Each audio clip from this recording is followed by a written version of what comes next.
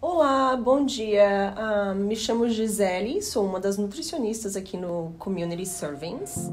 My name is Gisele Gaffney. I am one of the bilingual dietitians here at Community Servings. I speak Portuguese. I was born and raised in Brazil, but I've been living in US for many years.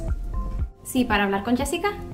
Gracias. Y te llama Camila de Community Servings. My name is Camila Osores. Spanish is my native language. I learned it from my parents, I learned it from my friends.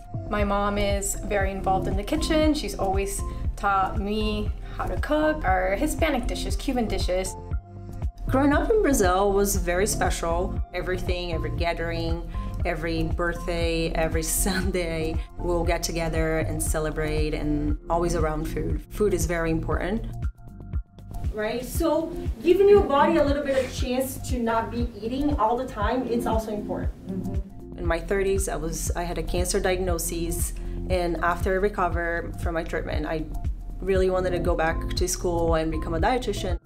Just the banana will lead to that big spike.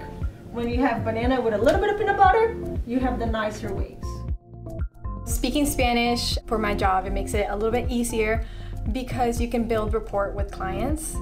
Having that language and also having some cultural knowledge uh, helps me really understand the client and understand how what I can do to help them.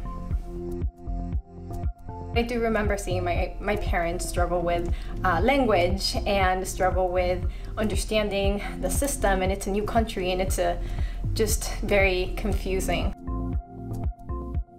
When I see those clients, I think of my family and I think of, of people back home that I have and how appreciative they are of when somebody sits down with them and, and takes time to, yes, do their job, but also go a little further.